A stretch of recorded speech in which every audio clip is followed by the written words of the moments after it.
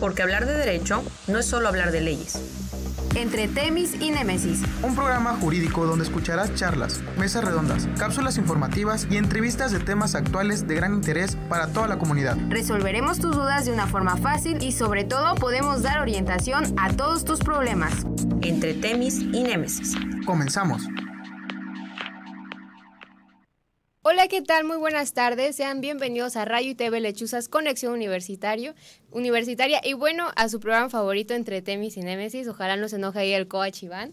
Eh, estamos muy contentos. Eh, el día lunes abordamos un tema bastante interesante que era la responsabilidad de los servidores públicos con respecto a la tortura, ¿no? Explicamos lo que es la tortura y bueno, pues el día de hoy estamos muy, muy contentos ya que tenemos a un gran invitado y es el licenciado Horacio Reyes Pérez. Más adelante me voy a dar la tarea de leer eh, pues una breve parte, un breve extracto de su currículum, pero antes pues mis compañeros van a saludar a toda la audiencia. Okay, bueno, pues, muchas gracias, muchas gracias maestro por acompañarnos el día de hoy. Estamos de lujo, ¿no? ¿Quién mejor que, que el maestro para venir a discernir este tema? Y bueno, eh, solo les recuerdo que estamos en vivo en... Mientras en YouTube, en radio, en radio UPGCH, eh, que es así, y obviamente nos pueden seguir de dos y media a tres y media los lunes y los viernes. Creo que son los nervios por tener al coach del otro lado. No, de verdad. hoy, y al invitado. Tenemos hoy casa llena y estamos muy contentos. Tenemos a personas igual invitados del del licenciado aquí que nos están acompañando. Igual saludamos a, uh Mario que está del otro lado. Y bueno, recordarles que las retransmisiones son a las 8 de la noche vía Facebook, en radio y TV Lechuzas. Y bueno, licenciado, agradecerle por la conferencia del martes. Gran conferencia, la verdad que es un tema muy interesante que se les pudo dar a todo el alumnado. Y vaya que tenerlo el día de hoy aquí es es ahora sí que es muy grato, voy, a usar la palabra de Leo, nos, vestimos de gala siempre para poder estar aquí con, Muchas gracias. Así es, y bueno, pues también recordarle a todos los que nos están viendo eh, a través de las redes sociales, Facebook, YouTube, que nos ayuden compartiendo este video, ya que la finalidad pues de este programa es informar y dar a conocer temas eh, que a veces no conocemos del todo y que nos pueden ayudar en gran manera. Así que me voy a permitir a leer el currículum del licenciado Horacio Reyes Pérez. Es licenciado en Derecho, cuenta con una especialidad en Derecho Procesal Penal y maestría en Ciencias Penales con especialización en Ciencia Jurídica Penal, ambos por el Instituto Nacional de Ciencias Penales, doctor en Administración Pública por el Instituto de Administración Pública del Estado de Chiapas, tiene un diplomado en Investigación de la Tortura, ha recibido diversos cursos relacionados con el Sistema Nacional Anticorrupción y Responsabilidades Administrativas de los Servidores Públicos, es catedrático de la Escuela Bancaria y Comercial, se desempeñó como agente del Ministerio Público de la Federación en la entonces Procuraduría General de la República, en la que también realizó funciones de visitador, subdirector de quejas y coordinador de visitas de supervisión y evaluación técnica jurídico. En la Fiscalía General del Estado de Chiapas ha sido director de responsabilidades administrativas, fiscal para la atención de delitos cometidos por servidores públicos, fiscal de combate a la corrupción y actualmente pues es fiscal antitortura. Qué mejor que él que nos venga a hablar y a discernir acerca de este tema y las preguntas que tenemos y qué les parece si le damos un fuerte aplauso a nuestro invitado. Muchas gracias. Bienvenido. Muchas gracias, muchas gracias. Buenas tardes. Buenas tardes. Y bueno, eh, vamos a iniciar esta entrevista. Tenemos este pues algunas preguntas que hacer un poco complicadas, ¿no? un pequeño examen. Un pequeño examen. bueno, ¿qué le parece, Elix, si inicia usted con la primera pregunta? Bueno, maestro, vamos a, dar inicio a, la parte de la entrevista. Son preguntas que, pues, las personas que nos están viendo, lo comentamos el día lunes, pero bueno, es ¿Qué es en sí la tortura? ¿Cómo podemos entender la tortura y qué tipos de tortura podemos, no sé, la normatividad puede considerar? Bien, muchas gracias. Buenas tardes a todas, a todos. Primero quiero agradecer la oportunidad que me dan de estar aquí con ustedes. La verdad que es una magnífica eh, plataforma para dar a conocer el trabajo que estamos haciendo en la Fiscalía con el tema de la tortura. Y también fue muy fructífero haber estado con los muchachos en la conferencia, estuvieron muy participativos, les interesó mucho el tema. Y gracias por todo. Y además han sido muy gentiles todos ustedes con, conmigo. Pues bueno, el tema de la tortura es un tema complejo, eh, es un tema que se ha dicho que eh, se sigue practicando en México, lo han dicho organismos internacionales, pero particularmente eh, hace algunos años, en el 2017, se publicó una nueva ley, la Ley General para Prevenir, Investigar y sancionar la tortura y otros tratos crueles, inhumanos o degradantes. Y esta ley eh, define claramente qué se entiende por tortura. Y primero nos dice que la tortura es eh, cuando un servidor público, es importante establecer, cuando un servidor público con la finalidad de obtener una información, una confesión, como castigo, como coacción o cualquier otra finalidad, le provoca dolores o sufrimientos físicos o psíquicos a una persona. Eh, de tal manera que normalmente la tortura va enfocada a una finalidad. Es decir, esa, ese dolor o sufrimiento que se le causa a una persona es para obtener una confesión o una información. Siempre tiene que tener una finalidad. Básicamente, en términos generales, es la tortura. Y esa ley general obligó a todas las fiscalías, tanto la General de la República como la de eh, los estados, a crear fiscalías que investiguen eh, particularmente el delito de tortura y otros tratos crueles, inhumanos o degradantes. Ay, interesante. Entonces, eh, retomando para que las personas que nos están viendo precisen, es, es como muy importante pensar que son físico, tortura física y tortura psicológica. Sí, sí eso es muy importante. Eh, no solamente agredir o lastimar a una persona físicamente, genera una tortura, sino también las amenazas, intimidaciones que generan una consecuencia emocional en las personas.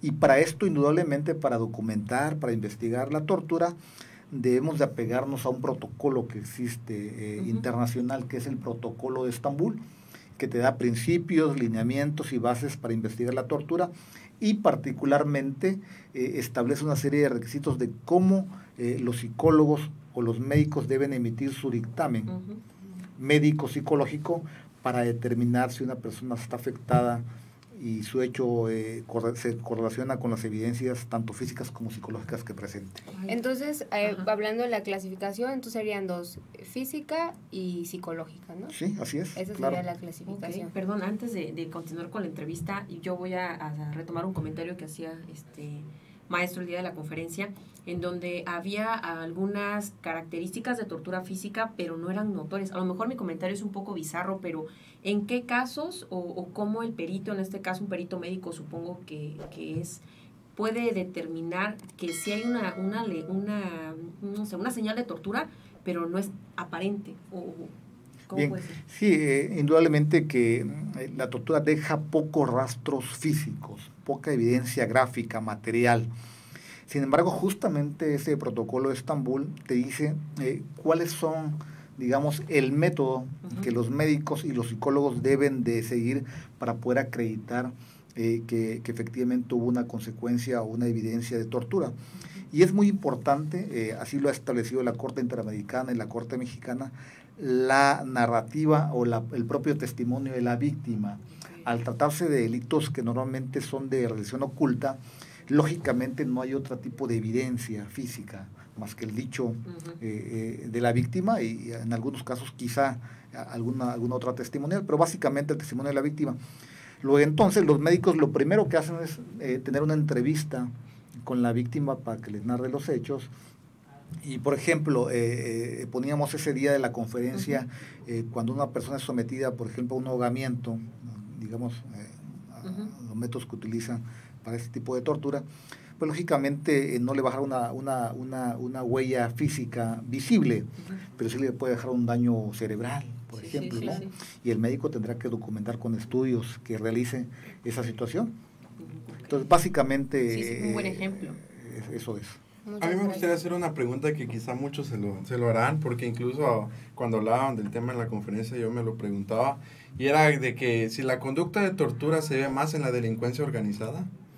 Bien, hay una eh, investigación y una encuesta que realizó el Instituto de Investigaciones Jurídicas del UNAM, eh, este, preguntando a la gente que en casos de, de tortura, eh, tortura en delitos de homicidio, secuestro, o delincuencia organizada o violación, si digamos estaban de acuerdo o no que fueran objeto de tortura.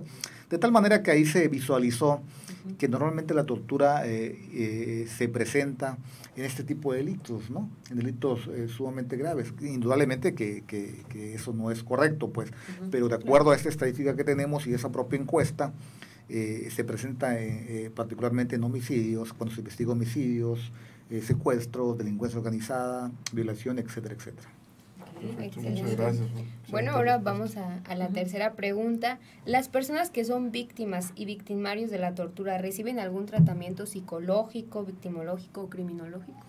Sí, esta ley general que de, las, la, de la que he señalado, he hecho referencia, eh, establece un apartado especial para eh, eh, reparar el daño y atender a la víctima. Entonces, cuando alguien se presenta mm, con un asunto de, denuncia de tortura, una víctima, lógicamente que tiene la posibilidad y nosotros la obligación de brindarle una atención integral, atención psicológica, atención victimológica, y tenemos en la Fiscalía una Fiscalía de Derechos Humanos que a la vez cuenta con una dirección de atención a víctimas. Entonces canalizamos a las personas para que reciban una contención emocional, una atención psicológica por peritos expertos en la materia. Eh, si se hace, eh, la ley también obliga a que se haga, ¿no? Y indudablemente que además es un tratamiento adecuado que se tiene que dar porque eh, lógicamente que las víctimas quedan con una afectación emocional después de, este, de vivir este trauma. Uy, qué interesante. Y fíjese, este maestro, que también el día lunes que hablamos de forma general del tema, hacemos mucho énfasis de qué servidores públicos la misma sociedad como que estigmatiza. Ellos son los que hacen tortura. Y en la conferencia nos permitió conocer que no solamente las sanciones para el funcionario o el servidor que hace directamente la conducta, ¿no? que también sus superiores son como responsables. Mi pregunta es para las personas que nos están viendo y a lo mejor no todas conocen del área legal, es, ¿es la misma sanción o son sanciones diferentes, tanto a lo mejor para quien hace directamente la, la tortura como quien la ordena o quien la permite? Bien, es muy importante, se discutió bastante el día de la conferencia este tema. Originalmente eh, se investiga y se sanciona a los autores materiales del delito de tortura, pero esta misma ley establece también un grado de responsabilidad para el superior jerárquico, estableciéndose eh, desde luego su grado de participación, ¿no? si fue el que indujo, eh, el que, el que mediáticamente ordenó la comisión de delito, entonces, eh, atendiendo a su grado de participación será la sanción. Eh, la sanción para el delito de tortura es de 10 a 20 años. ¿eh? Y entonces, atendiendo al grado de participación, tanto el autor material como quizá el autor mediato, o, conocido como autor intelectual, o el superior jerárquico que haya permitido, tolerado esta situación, bueno, será el órgano jurisdiccional que determine la gradualidad de la penalidad, dependiendo de la mínima que es 10 a la máxima que es 20 años de prisión y, e independientemente, supongo, de los delitos que a lo mejor también traiga consigo el permitir, ¿verdad? Como abuso de autoridad que creo que mencionaba en la conferencia, o, o son, perdón, son completas, o sea, tortura, abuso de autoridad. Sí, son, son delitos autónomos, por llamarlo así, ¿no? Eh, eh, digamos, eh, a veces no pueden coexistir abuso de autoridad. malos tratos o tortura, es un tipo penal o es el otro, ¿no? Atendiendo al hecho en particular, habría que analizar el hecho en particular. Por ejemplo, si hablamos, el día de ayer lo mencionábamos, que en la tortura pues es como la instigación, es como esa, eh, ese maltrato, ¿no? El maltratar de manera física o psicológica. Si existe ese maltrato, por ejemplo, de un abuso sexual, ¿entraría en la tortura o también se clasificaría?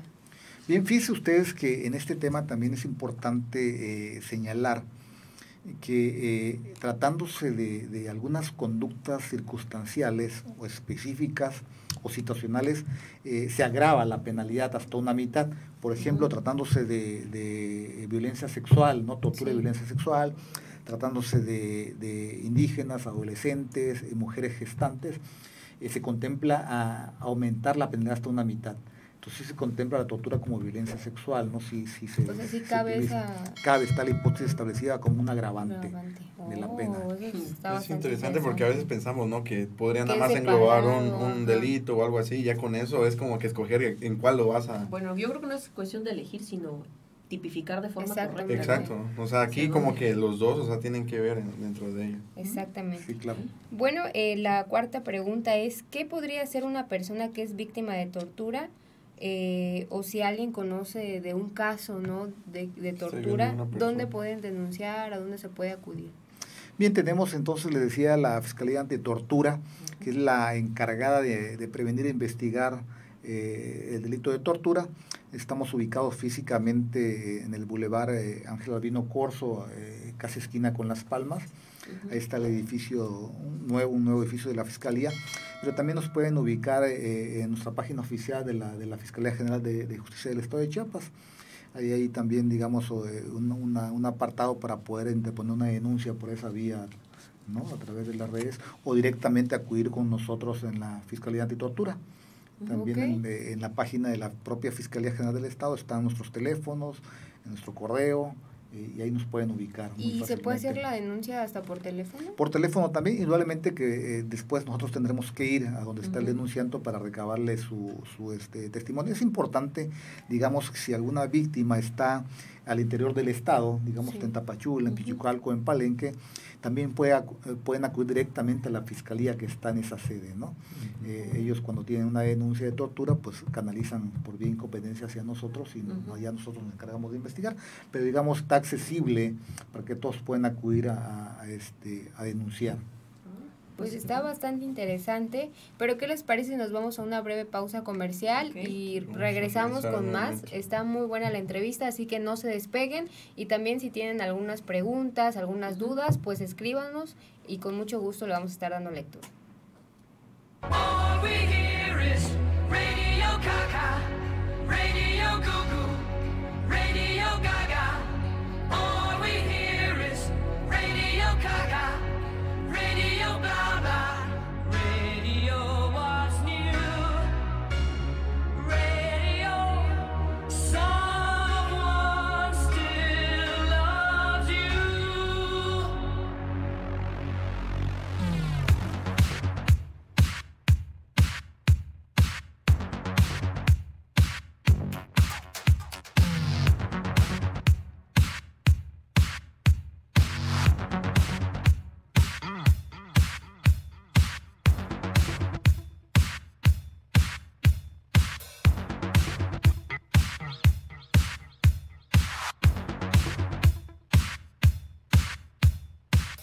Universidad Pablo Guardado Chávez tiene un acuerdo con la sociedad en apoyar la formación pedagógica que sirva como impulso a nuestra comunidad.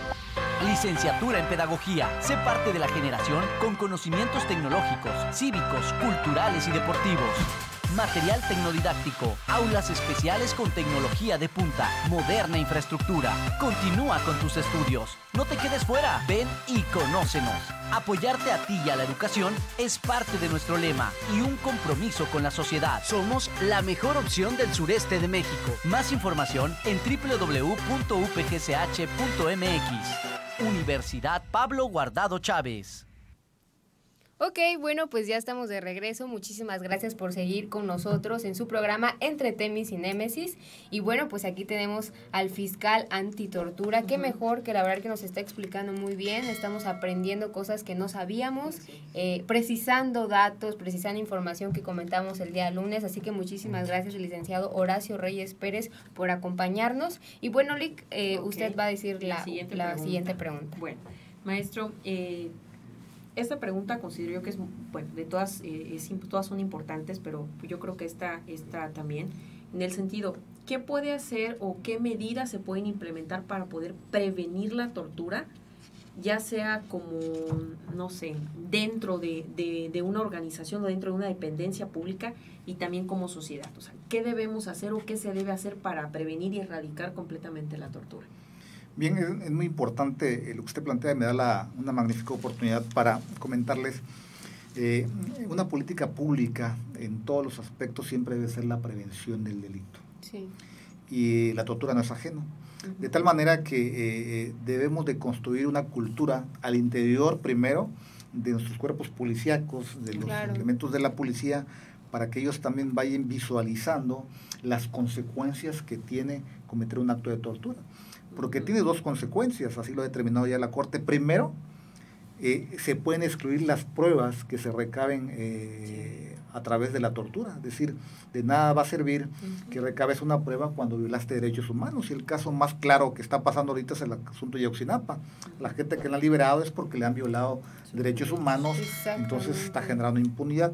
Y lo segundo es hacerles del conocimiento a, los, servicios públicos que están eh, en áreas operativas que la tortura es un delito que tiene una penalidad muy grave.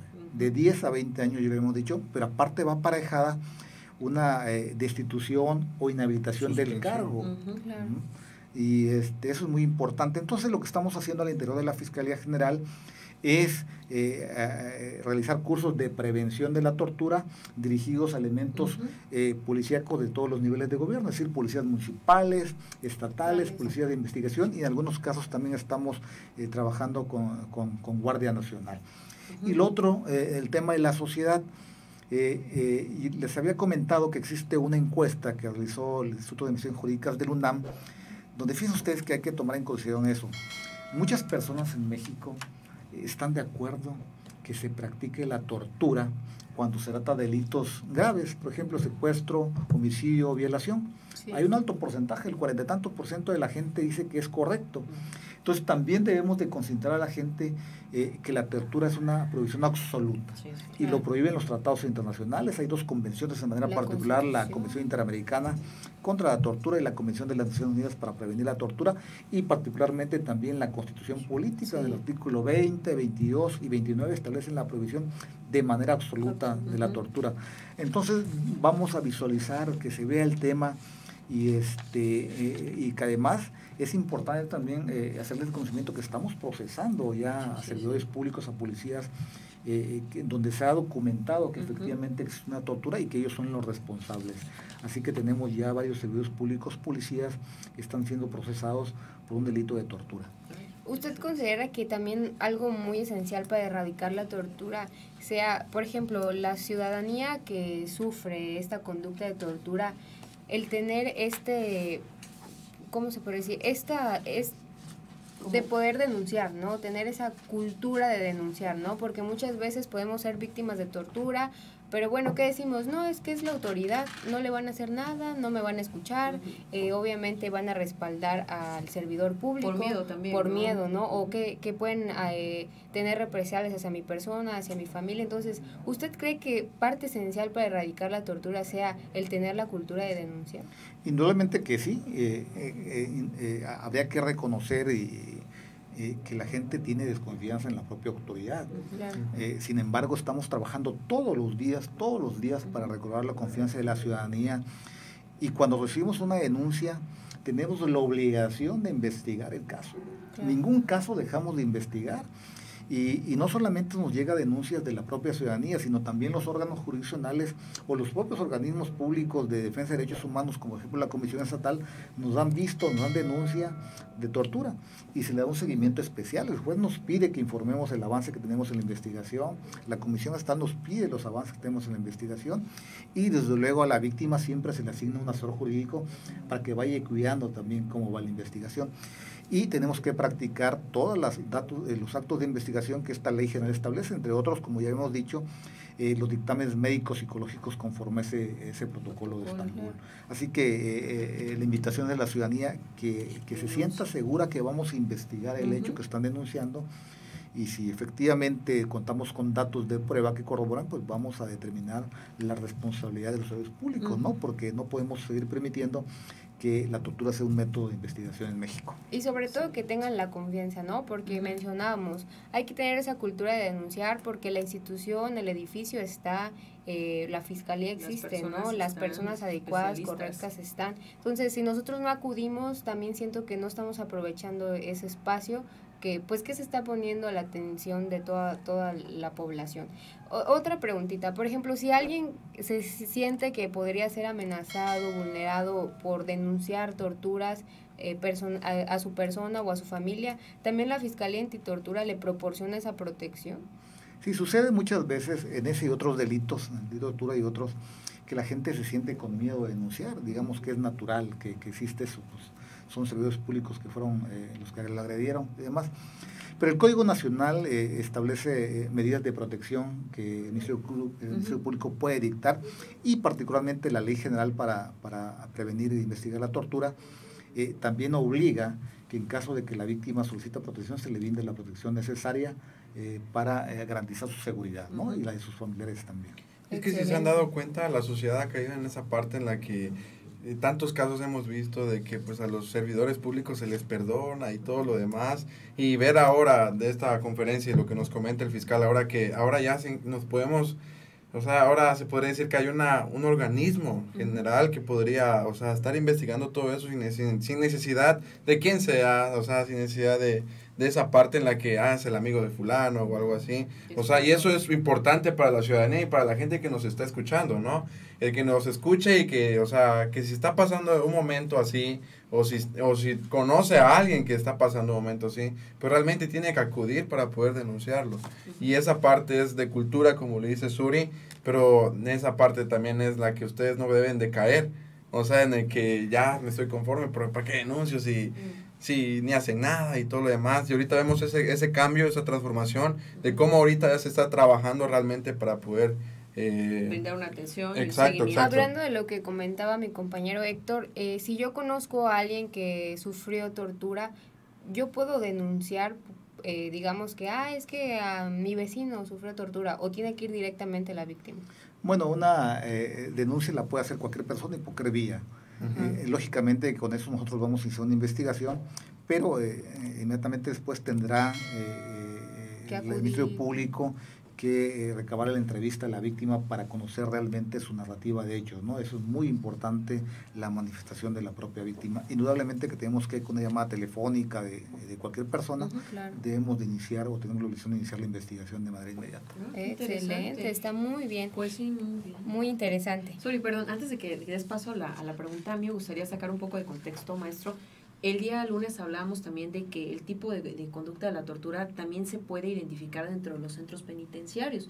Y mi pregunta así rápida es, eh, en la ley que nos mencionaba hace unos momentos, que es Ley General para prevenir y sancionar la tortura y tratos inhumanos o degradantes, los tratos inhumanos o degradantes que en ocasiones se piensa que, que se realizan dentro de los centros penitenciarios por celadores o por personas que trabajen ahí, esos tratos inhumanos y, degradantes ¿Son tortura también? Mire, es muy interesante su pregunta y también me da una magnífica oportunidad para eh, este, establecer lo siguiente, explicar lo siguiente. Eh, la tortura es un tipo penal, es decir, es un delito, y eh, tratos crueles, inhumanos o degradantes es otro tipo penal. Dijimos que para que se actualice la tortura no únicamente se requiere el dolor o sufrimiento físico psico, sino que persigue una finalidad. En cambio, los malos tratos es cuando un servidor público en el ejercicio de sus funciones humilla, degrada o insulta a una persona. Entonces, cuando también recabamos denuncias, particularmente de internos de los reclusorios, de los centros de atención social en el Estado, eh, eh, establecemos si efectivamente, de acuerdo a la investigación, se trata de una tortura o se trata de, malos tratos. Oh, está muy interesante. Entonces, por ejemplo, las personas privadas de su libertad, si sufren tortura, ellos, no sé, se lo pueden comentar a un familiar y el familiar automáticamente ir a la fiscalía y que se realice una investigación dentro de, los centros penitenciarios. Sí, nosotros ordinariamente estamos siguiendo a los, a, los reclusorios para recabar estas denuncias. Eh, incluso hemos recibido llamadas directas de internos, ¿no? Que se sienten eh, humillados quizá por alguna una conducta eh, entonces investigamos indudablemente y también algunos familiares han llegado a denunciar este tipo de, actuación. Entonces, este es muy importante aquí eh, eh, también explicarles, existe en México un mecanismo nacional para la prevención de la tortura. Ese mecanismo nacional que tiene sede en la, Ciudad de México y que depende o está escrita a la, a la CNDH, a la Comisión Nacional de Derechos Humanos, hace visitas periódicas a los reclusorios en todo el país. Y, por ejemplo, en Chiapas hicieron una visita hace algunos meses y a través también de una eh, denuncia de ellos tuvimos que eh, iniciar una investigación, ¿no? Nos dijeron tal interno, en la entrevista nos manifestó lo siguiente, entonces probablemente hay un asunto de torto o malos tratos y inicia la investigación. Y ellos también nos piden un seguimiento y una información de lo que hemos hecho acerca de esa denuncia. Y usted que lo dice, recordé el día lunes, no estuve con ustedes porque fui a la mate, y ahí recuerdo que había un letrero en el cual dice, o sea, eh, en caso de, que te estén humillando, o sea, marca y denuncia. Y ahí aparecía un número, creo que era el 089. Y era algo de que me, me, causó mucha duda y yo dije así como que, o sea, ¿pueden hablar desde aquí o qué pueden hacer? Y ahorita que menciona eso, o sea, de que los, los mismos, este, las mismas personas privadas de su libertad puedan marcar, y puedan poder denunciar esta, esta situación, ¿no? Es muy interesante. Muy interesante. Ok, bueno, pues ahora sí pasamos a la segunda fase del programa y bueno, me di a la tarea de realizar una dinámica y la dinámica consiste en que cada uno de nosotros le vamos a decir un supuesto.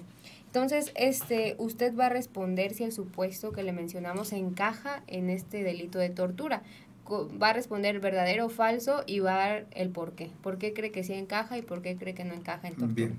Así que bueno, Voy a empezar. Dice, el aislamiento que es mantener a una persona alejada del mundo exterior y sin saber dónde se encuentra y cuánto tiempo ha pasado. Es tortura. Es tortura, verdadero, o falso. ¿Por qué? Mm falso, digamos, eh, no necesariamente puede ser tortura, puede ser, digamos, eh, algún otro tipo penal, pues una desaparición forzada de personas. Habría que particularizar un poco las circunstancias del hecho para determinar si efectivamente es tortura o hay una desaparición forzada. excelente. Bueno, el segundo supuesto dice, la incomunicación que implica mantener a una persona alejada de otras y sin poder hablarle a sus familiares, amigos o algún abogado. Falso. Eh, más bien ese es un medio, digamos, la incomunicación es un medio que utilizan para cometer la tortura. Eh, hay cuatro salvaguardias que el, que, la, que el Mecanismo Nacional de Presión de Tortura establece para evitar eso. Es decir, con una persona detenida, inmediatamente hay que darle acceso a una llamada telefónica para que se uniera con sus familiares o personas de confianza. Y evitas la incomunicación. Y eso eh, previene la tortura. Certificarlo médicamente, eh, ¿no? hacerle saber sus derechos y la última es eh, que tenga un abogado. Entonces con todo eso eh, seguramente si no se hace pues se puede presumir que, lo quieren aislar o incomunicar para obtener información a través de una Podrían ser como indicios, ¿no? Sí, sí, claro. Excelente. Bueno, pues el tercer, el tercer planteamiento es las amenazas, pero así, las amenazas que se le hace a una persona con perder parte de su cuerpo ya sea alguna extremidad completa, brazos, manos, puede ser tortura, solo la amenaza. Si esa amenaza eh, lleva implícita una finalidad, decirle, si no me dices eh, o no me das tal información, te puedo ocasionar esto, estamos hablando de una tortura. Si se queda con la simple amenaza, no condicionada a obtener alguna finalidad, quizá serían amenazas, ¿no? Eso es bastante interesante. Eh, bueno, a veces sabemos que hay diversos delitos, ¿no? Y a veces nos cuesta un poco diferenciar, bueno, a los estudiantes nos cuesta un poco diferenciar, pero acá en el caso específico de la tortura y, y, platicando de estos supuestos, podemos diferenciar, o sea, ya aprendí a diferenciar. La tortura es cuando hay, buscan un fin, una información, entonces ahí podríamos hablar de tortura, bastante Exacto, así es. Muy bien. Y bueno, eh, el siguiente supuesto, eh, Héctor. Sí, dice despliegue innecesario de armas, en otras palabras, que las autoridades muestren o tengan a la vista cualquier tipo de armamento sin justificación. Falso. Eh, quizá no hay tortura ahí, quizá podría haber un abuso de autoridad o un exceso en la utilización de la fuerza, ¿no? Órale, excelente, pues muy clara, muy precisa su respuesta, le agradecemos muchísimo. ¿Y qué les parece si nos vamos a una siguiente pausa? La, última. La última, exactamente, la última pausa comercial. No se despeguen, de verdad que estamos aprendiendo muchas cosas interesantes, muchos supuestos y quisimos manejarlos 100 supuestos porque diversas personas o inclusive nosotros podemos encontrarnos en ellos y como para saber diferenciar o saber a qué autoridad acudir, qué tipo de delito se debe de denunciar. Así que bueno, vamos a esta pausa y regresamos. La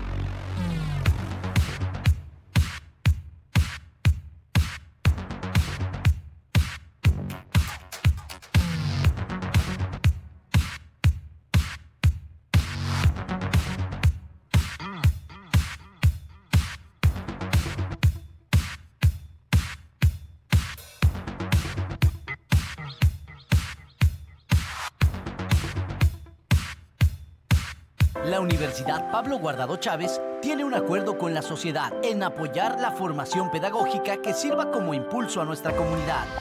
Licenciatura en Pedagogía. Sé parte de la generación con conocimientos tecnológicos, cívicos, culturales y deportivos. Material tecnodidáctico, aulas especiales con tecnología de punta, moderna infraestructura. Continúa con tus estudios. No te quedes fuera. Ven y conócenos.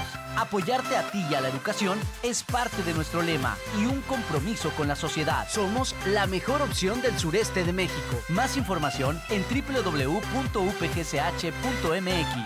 Universidad Pablo Guardado Chávez.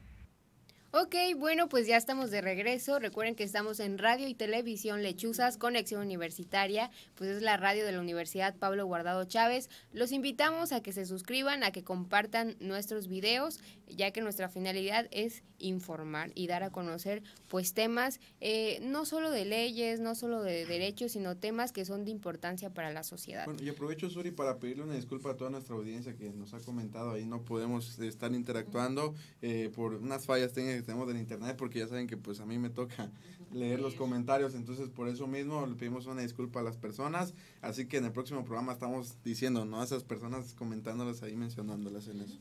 Así es, y bueno, eh, pues hemos llegado a la parte triste, triste la parte conclusiva, pero antes de dar conclusión sí me, me gustaría eh, ceder la palabra aquí al licenciado para que nos platique acerca de las diversas actividades que realizan en la Fiscalía Antitortura, eh, qué proyectos tienen en puerta en la Fiscalía Antitorturas. Bien, muchas gracias. Bueno, eh, parte importante eh, es la profesionación de los servidores públicos.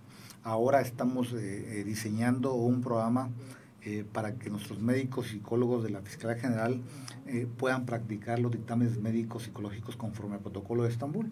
Nos estamos coordinando con la Comisión Estatal de Derechos Humanos y con el apoyo de la Comisión Nacional para que expertos de ellos vengan a ilustrarnos, digamos, en este tipo de capacitación. Y estamos siguiendo a, la Policía Municipal, a estatales, a, la, especializada, a eh, eh, capacitarnos en el tema de la prevención de la tortura.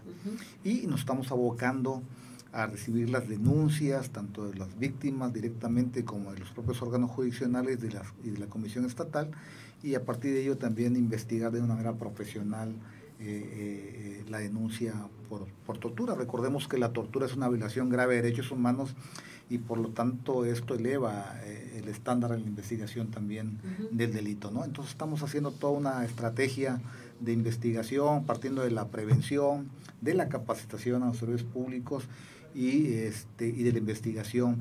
Eh, nuestros ministerios públicos han recibido, la gran mayoría de ellos, un, diplomado incluso en la investigación de la tortura que nos dio un organismo no gubernamental eh, tendiente pues a saber los criterios también internacionales acerca de la investigación de la tortura.